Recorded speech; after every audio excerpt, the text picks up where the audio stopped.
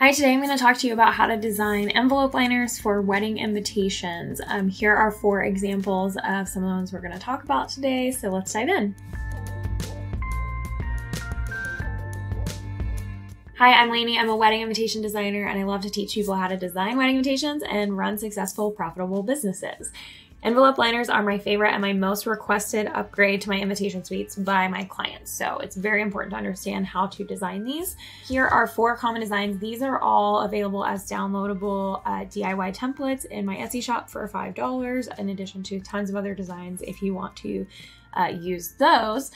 However, we're going to talk about how to design your own today as well. So I would say the most common, simplest way to design an envelope liner is using this all over pattern kind of method. It doesn't really matter where the cuts go, which is going to be helpful for you in the design process. Um, it doesn't really matter where the envelope is. It's kind of an all over simple pattern and it's so really, really beautiful. I have a ton of examples of this. Um, this one is where we have a design coming in from the top, which is pretty cool. Maybe my favorite design, maybe. I don't know. I like all different ones, but this one might be my favorite. It's kind of cool. It looks like things are raining in. And what I like about this one is if it gets torn on the crease, you still get most of the design at the top. This is an example of a single image design. So this could be a dog portrait, a venue portrait. There's so many different examples. I use a cactus here. Um, and then this design right here looks insane, but it's the opposite of this one. So it's basically what's coming up out of the envelope. And I've made, I'll show you how to do this.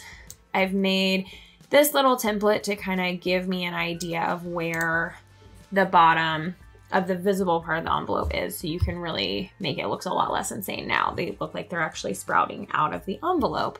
Um, and you'll just want to make sure that you you continue to design a little bit past this one so you can see, let's see if I change this to clear. You can see I've, I've uh, made it go a little bit further than that actual envelope design. And I've tested this one. I was able to actually print this one, cut it, and test it on one of my envelopes so I can tell that it works. So how do you go about figuring out how you could do this? Um, the main thing is we're going to talk about where you're going to get your envelopes and then how you're going to cut them, and that will influence your design a lot. So there's a lot of different shapes of envelopes. If I order from three different suppliers, even if they're all this kind of uh, what's called Euro flap or deep V flap.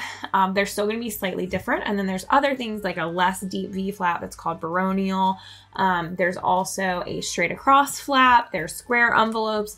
So there's a lot of different shapes, and you need to just make sure that whatever you're doing can fit into the shape of the envelope. There's two really easy ways to do that.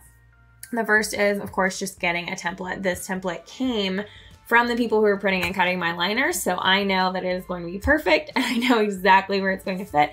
Um, and then I've made these templates for the DIY download versions um, out of this exact template. So wherever you're getting your envelopes from, email them and say, hey, do you have an envelope liner template? If they don't, then you can kind of make your own, but I will say that you want to be a little bit less specific on the design. So if you're doing this method, I might not go with a design that needs to be in a specific place, but something like a design that fills the entire envelope and doesn't really matter exactly where it's cut. Um, something like this, where it's a uh, an all over pattern design. It doesn't matter too much if the template is exactly right because you're going to get a little variation. So what I've done is take a picture of this envelope.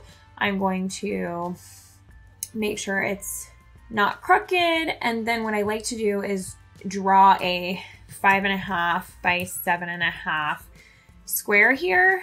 Um, we will, let's see, I'm gonna fill it and also rotate it. I did it the wrong way. so this is kind of your sizing template just to make sure you get it right. So then you'll want to size your envelope picture up to basically as close to that as you can get. This is actually pretty close. You can see that it's distorted a tiny bit. So that's just an example of how this picture method isn't going to get you exactly where you want to be. From here, you can draw your shape. So you have um, this rectangle already. You can go ahead and make it a little bit smaller so that it fits inside the envelope. And then you can use uh, your shape builder tool here in Illustrator to add the additional triangle portion to the top. And you'll want to make it so that, I mean, you can even just use a, uh, add an anchor point here. You can even just add an anchor point here in the middle and use that uh, to make your triangle and then you can round your corner pretty easily. So this is pretty decent. This will give you a fairly close approximation of it. Um, it's not going to be 100% exact though, uh, but it's pretty good. And then you can even round these corners if you'd like to, uh, just completely up to you. Round these, and that will of course also round those. That's okay, you can square them off later.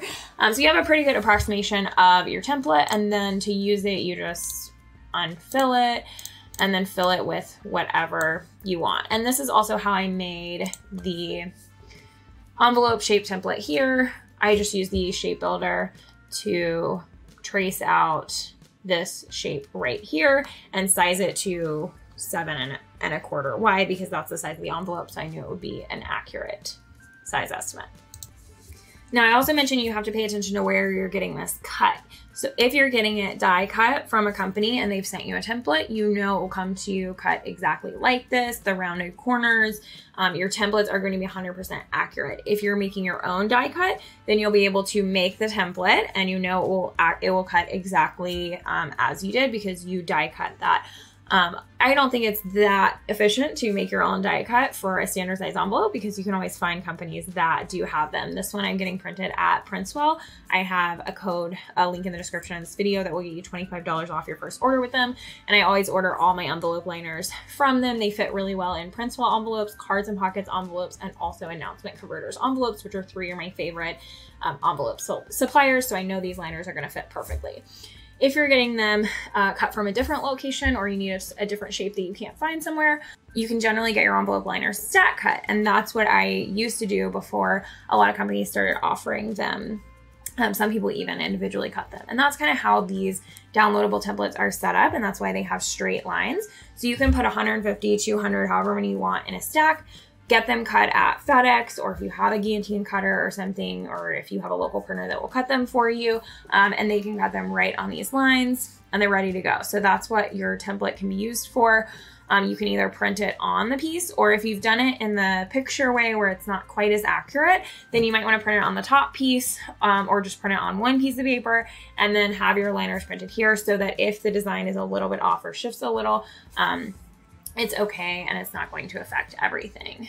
If you're going to do something where you have it stack cut, then you'll want to make sure your design comes a little further off the edge. So you can print this on an 8.5 by 11 um, and you can do the pattern on the entire piece of paper. That's really the easiest way to do it. Um, and then just print your template where you want them to cut on one piece, put it over the top, they'll chop the whole thing. Um, so if you're doing something like that, if you're having them individually cut or if you're individually cutting them, then you'll want to be a little bit more careful about your design. So if you do something like this, you want the design to extend a little further, give it a little bit more of a bleed so that if it shifts a little or you cut a little bit off, there's no, uh, you're not missing any of the design. If you were to do a set design like this that's kind of centered or needs to be within the constraints of the envelope liner, um, I would recommend doing it a little bit smaller, um, making it such that the margins don't matter as much. This type of design is going to be a little more difficult if you're not getting them die cut because you just kind of don't know if the cut is going to be perfect.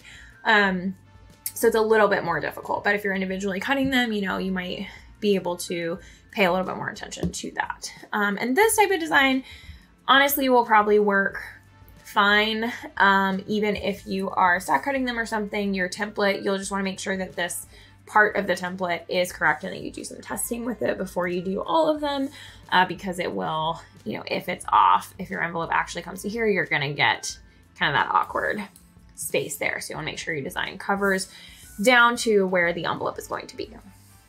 So I'm just going to scroll through a few options so you can see all the different possibilities we have with design. Um, there's a lot of really cool things you can do if you're starting from scratch. Definitely that all over the pattern is going to be one of the simplest type of designs to do and make sure you get right every time. I have another video on how to attach your envelope liners and if you're using one of our DIY templates, I have another video on how to use those as well. So I um, highly recommend checking out some of these designs to get some inspiration and let me know how your first envelope liner designs go. Thanks everybody.